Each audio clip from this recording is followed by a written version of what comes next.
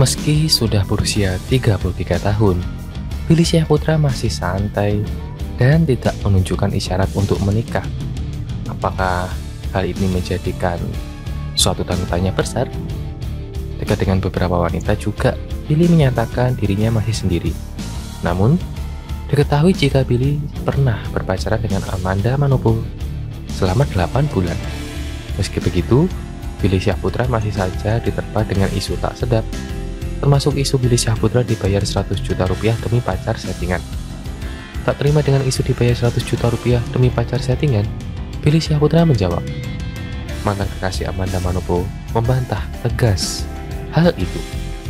Gua terima-terima aja biar orang mau ngomong apa, ujar Billy Syahputra.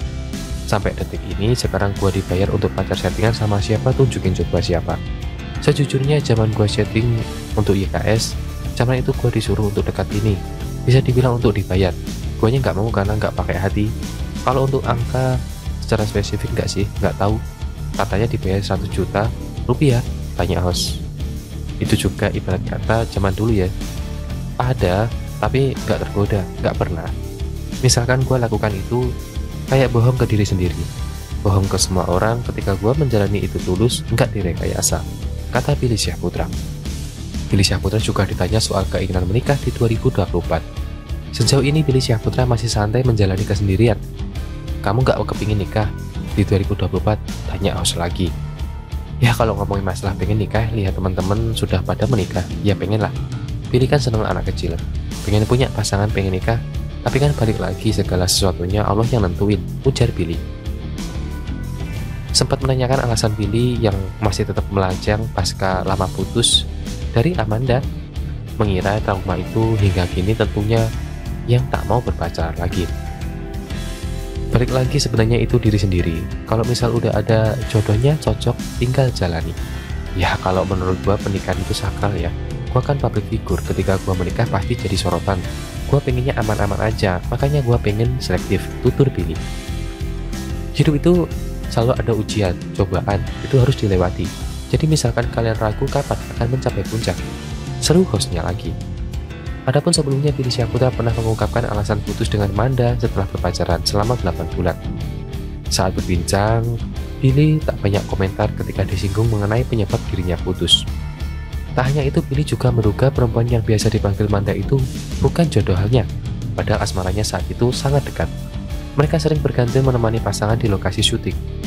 Alih-alih membantah, adik almarhum Olga Syahputra justru membenarkan, apalagi saat itu Manda tengah sibuk-sibuknya menjalani syuting sinetron Ikatan Cinta. Terlepas dari itu, Billy menekankan bahwa selama ini dirinya tidak pernah menduakan pasangan. Billy Syahputra berujar kalau putus selalu baik.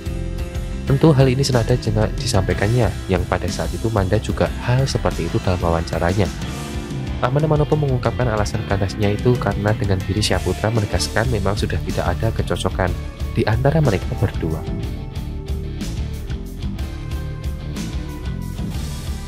Sebelum lanjut ke video, jangan lupa untuk subscribe dan juga nyalakan loncengnya supaya kalian terus mendapatkan informasi terbaru dari channel ini.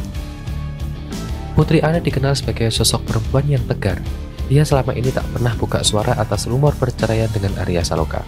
Ia bahkan sempat terciduk memberikan like di video Arya bahkan mengisyaratkan dukungan. Di sisi lain, Ana juga seolah belum 100% bisa menutupi kegundahan hatinya. Ia kembali mengunggah pesan bijak setelah Arya kembali santer dirumorkan pamer postingan sehati dengan Amanda. Dalam unggahan tersebut, Ana tampak mengunggah kalimat bijak untuk memotivasi dirinya. Selain itu, ia mengungkap nasihat untuk menyembuhkan hati yang terluka. I hope you do more than just survive. I hope you act boldly without apology for who you are all the things you love. I hope you make our unlisted song that make you jubilant. I hope you resolve new place and hide a also. I hope you fall in love with stories and dance in snowfalls and raindrops. I hope you achieve all your dream and find the child to love yourself. I hope you live. Demikian unggahan pesan bijak di postingan Anem. Tuhan adalah tempat pelindungan terbaik saat hati terluka. Dia memeluk kita dengan kasih yang tak tergantikan. Demikian unggahannya yang lain di Instagram Putri Ari juga. Sementara itu, rumor kedekatan Arya dan Amanda kian santer berembus setelah akun gosip mengunggah ulang postingan dua artis ikatan cinta tersebut. Keduanya sama-sama pamer postingan romantis terkait karakter film animasi up. Padahal, terkuak kalau itu cuma postingan lama dan diduga keduanya mengunggah di waktu yang berbeda. Fans Amanda pun kesal dan tak rela jika idolanya mereka terus-terus disalahkan.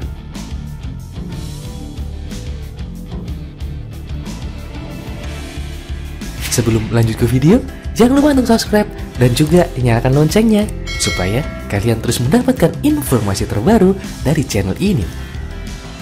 Amanda Manopo kembali jadi sorotan netizen. Penampilan Amanda yang makin langsing sontak membuat banyak warganet pangling dan penasaran. Penampilan baru Amanda mulai terlihat saat dia mengunggah momen ulang tahunnya pada 6 Desember 2023 lalu. Bintang film Indigo itu kena berusia 24 tahun di tahun ini.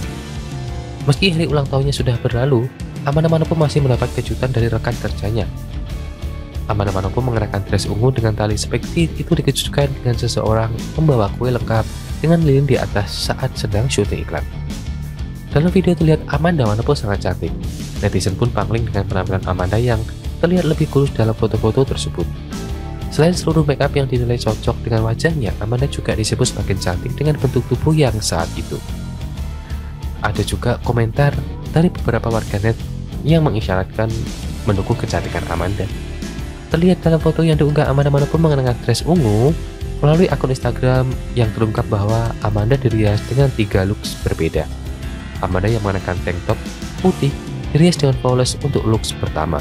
Sementara saat mengenakan dress ungu di looks kedua wajahnya dirias dengan make up world di mana eyeshadow coklat yang diaplikasikan menonjolkan bagian matanya. Amanda tampak lebih dewasa dengan riasan tersebut, Looks ketiga, dengan dress pink menjadikan tampilan lebih kalem dengan lipstick berwarna gelap serta bagian bawah mata yang cukup tebal ketimbang dua look sebelumnya. Rambutnya yang terurai menjadikannya tampak begitu anggun tentunya.